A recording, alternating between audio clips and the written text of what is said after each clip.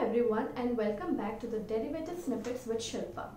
In the previous series of videos, we have learned about why do we use derivatives, what leverages we infer from derivatives and understanding of different parameters like PCR, open interest and volatility to understand the sentiment and the direction of the market or any particular stocks that we deal with. From this particular series of videos that we are going to start, we'll start learning different sort of option strategies.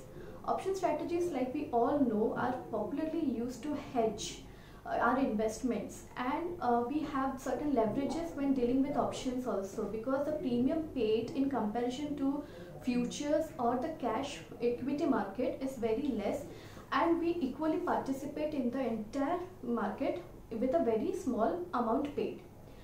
To start with today, I'll uh, make you understand the very basic or probably the first option strategy that we often hear about, the vanilla options. Like we already have discussed earlier that there are two types of trades in options that is call option the CE and the put options the PE. So when we buy a call option that is CE or sell a put option that is PE, we infer that the sentiment is bullish in nature Vice versa, when we buy a put option that is a P or uh, sell a call option that is a CE, we understand the sentiment is very bearish. So plain vanilla option strategy is nothing but when buying a call option bullish in sentiment and then buying a put option when bearish in sentiment. Coming to the next part is understanding the different strike prices that we often see in options trading and to understand which strike price to enter and how to enter. So there are three terminologies particularly used in option trading that is ITM, the in the money, OTM, out of the money and ATM that is at the money.